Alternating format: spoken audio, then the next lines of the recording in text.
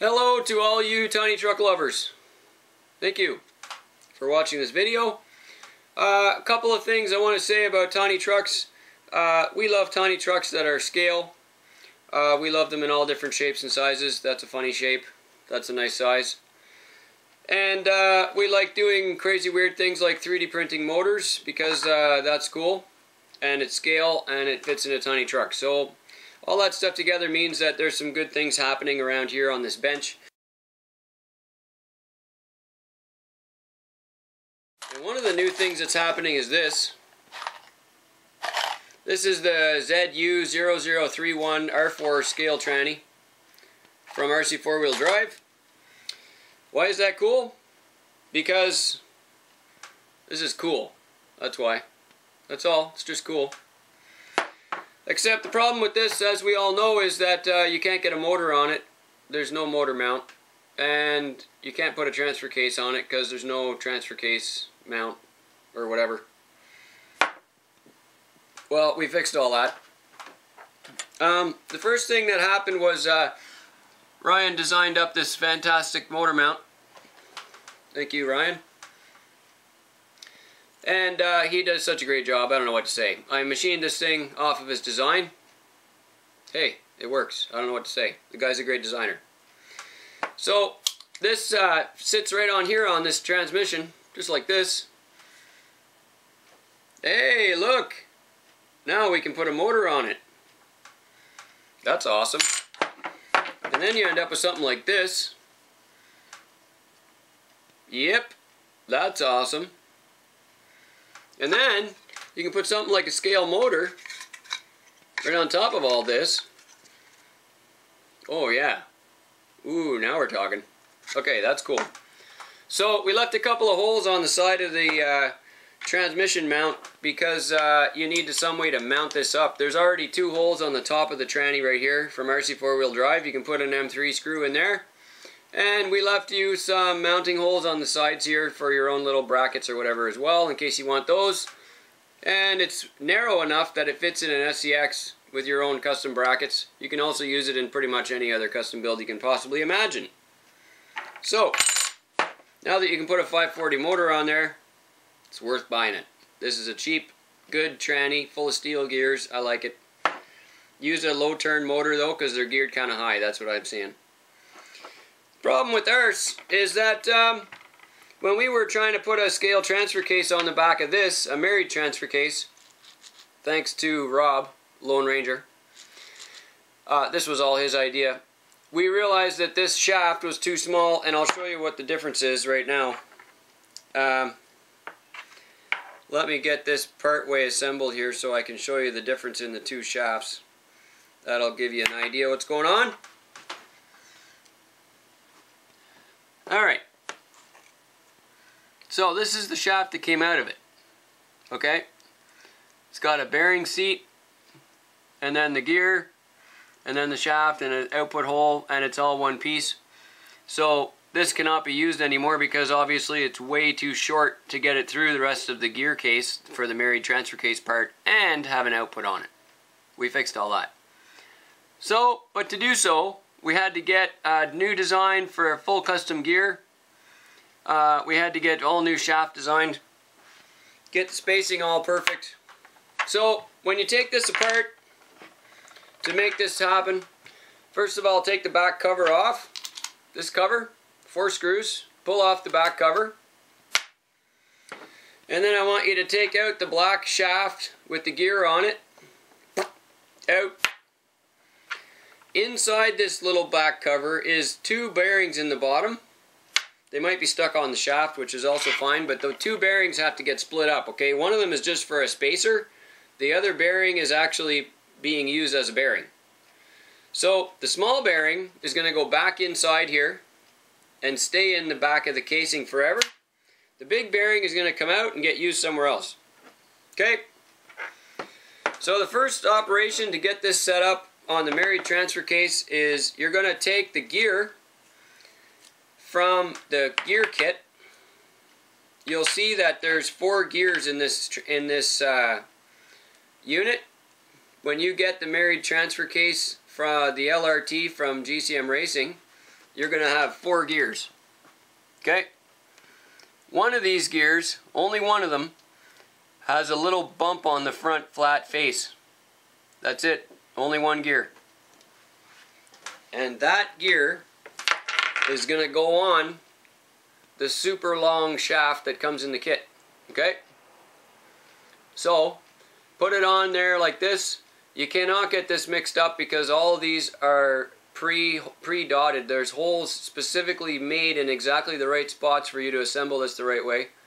So this top shaft with this fancy gear with the bump is going to line up not with the flat end.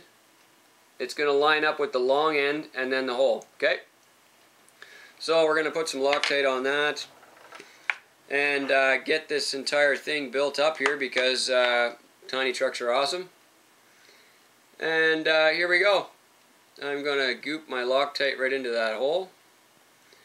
The gear has to be in the right spot. You cannot mess this up.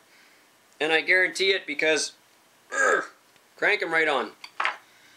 Because um, there's only a hole in the right spot. There's not even a flat or anything to, like you can't mess this up. You just can't.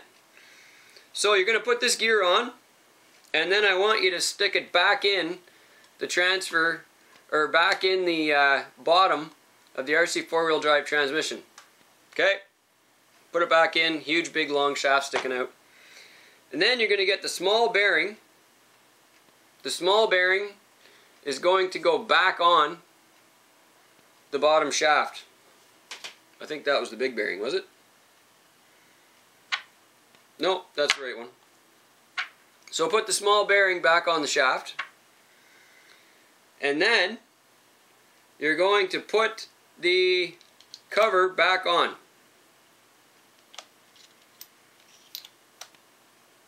Good?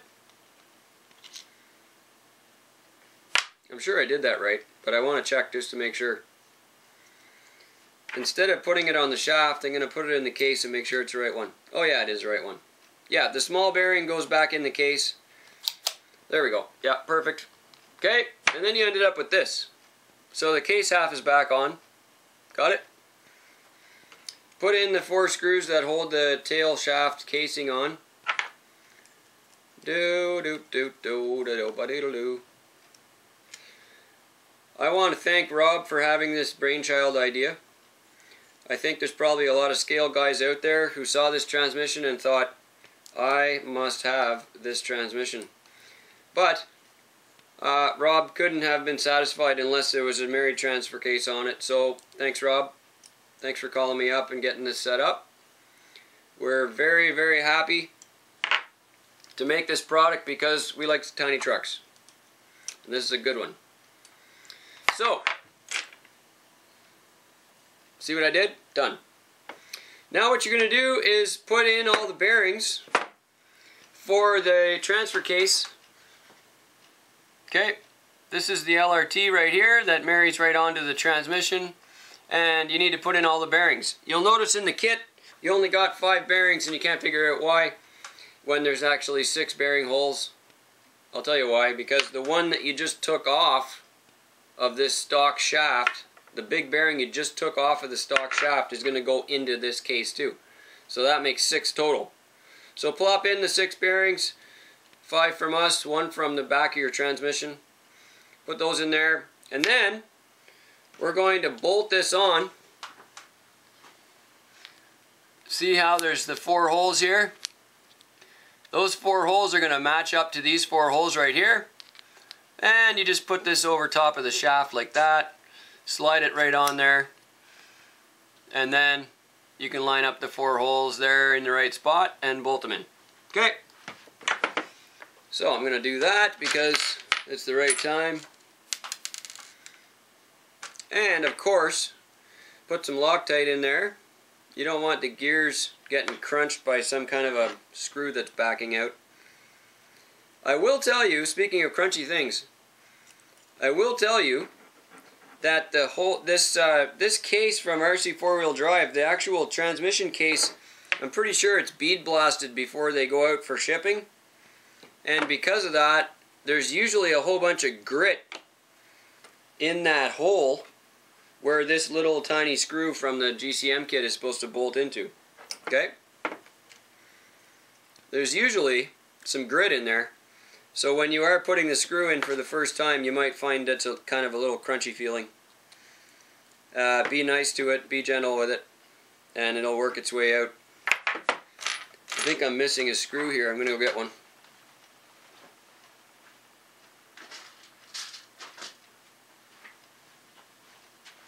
And there we can put four screws in it. A little bit of Loctite is all you need. I'm pretty sure I went way overboard on this Loctite, but that's alright. Alright, so we ended up with this. And the four screws are bolted in there. You can see how the alignment is. Got that? Okay. Now the next thing you're going to do is put on the big gear. You've got three gears left in your kit. You've got two big gears with flat faces and one small gear. Okay with a flat face. Take one of the big gears and slide it down onto the shaft. You can only put it on one way because the set screw will do nothing if you put it on the wrong way. It should be super obvious. The set screw side of the gear is going to go down into the LRT case first now I'm going to Loctite that up before I slide it on there. And I highly recommend that you take a minute to actually align these parts right here. So if you stick your wrench into the bottom shaft, you can turn the case holding the shaft like this. You can turn this so that this you have the most accessibility to get out that set screw on that gear Okay, so I'm going to slide this gear over here. Do, do, do. I think I put the screw in too tight. Yep. And then I'm going to crank that screw in there. As I said before, the GCM shafts have a hole in it made for that set screw and you can't put that on wrong. You just can't. So now you've got the set screw in there, see it? Right there wee bit of an angle for the case, but not much. Just crank that in. And then build the center shaft. Okay, you're going to take the, the small gear and you're going to put it onto the short shaft. And there's a set screw spot on that too. So, I mean, this is so easy. You just grab the shaft, the smallest shaft, get your gear, the little gear, put it on the little shaft, you can only put them on there one way. There's no way to get that wrong. And then you can gobber your Loctite right in there. Yeehaw. Totally useless. This shaft just rolls on bearings. It's an intermediate shaft. It has no other side forces or nothing on it. So pretty easy. And then you can just drop this right in here. It goes in the top shaft hole beside the other one. See? Goes right in there. And then you can build your bottom shaft. And the bottom shaft is going to be this little shaft that has the hole in it as well as the flat uh, set screw spot. And you're going to take the last big gear and marry those up together. You can't get them on wrong either because if you try to put it on together wrong, it'll, it'll be obvious. I'm going to jam a bunch of Loctite in this one here too. This uh, should be pretty much bomb proof. Uh, we've got, there's that bottom hole for the uh, output, a bearing seat, and the set screws in there with the Loctite. And then of course you can stab this thing through the case towards the front of the motor. Got plopped, just like that. And there we go we've got three gears into the case. The front output is showing up right here. The rear output is coming out right there. And we're going to put some grease on, which I forgot.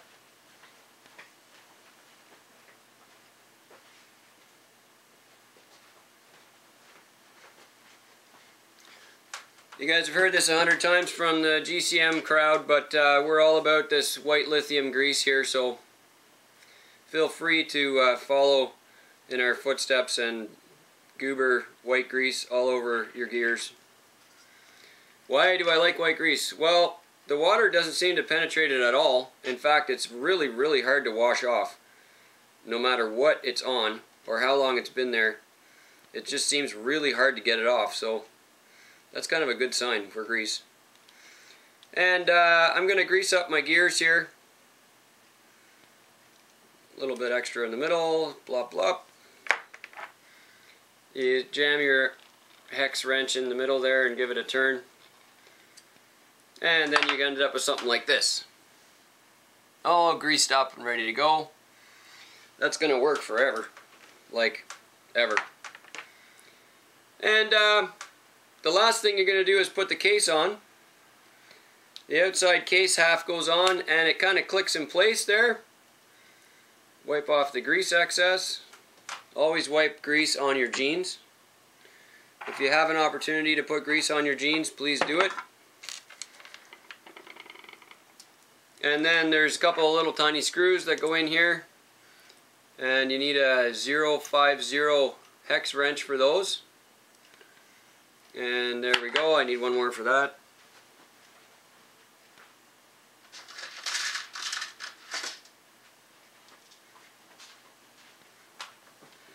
There we go. You'll notice I did not put Loctite on these on purpose. And then you can just check and verify that everything's turning nicely there. If you have a look at the front output, Front output moves right along there. It's awesome. And, uh, hmm, surprise. There we go. The LRT is now on the transmission. It's uh, ready to go on a truck. We put the motor mount in as per the uh, RC four-wheel drive instructions with their motor, except we didn't use their motor. And uh, we're now going to take this assembly and drop it right into Dana's Class 1 in uh, our GCM prototype stuff that we're working on for that. This is going to be awesome. Set up your uh, LRT case, guys. Put a link in the comments if you have a truck that you're going to build this with, and we want to see it, of course, because we love your tiny trucks. And uh, enjoy your builds. I think I need to clean up around here. See you later.